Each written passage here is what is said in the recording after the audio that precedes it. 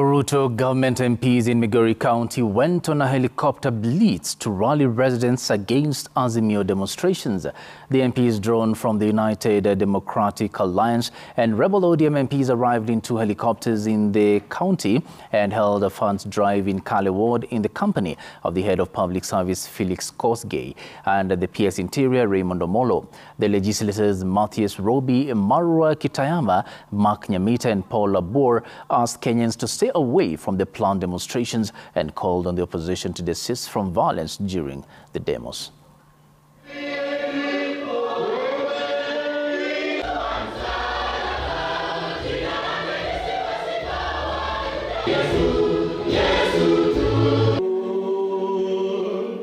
Kitu tu tunaomba na amri imetolewa kwa kila mtu wa security Kenya hii, na inarudia hapa, we shall not entertain or tolerate destruction or damage ya property that we must coexist peacefully.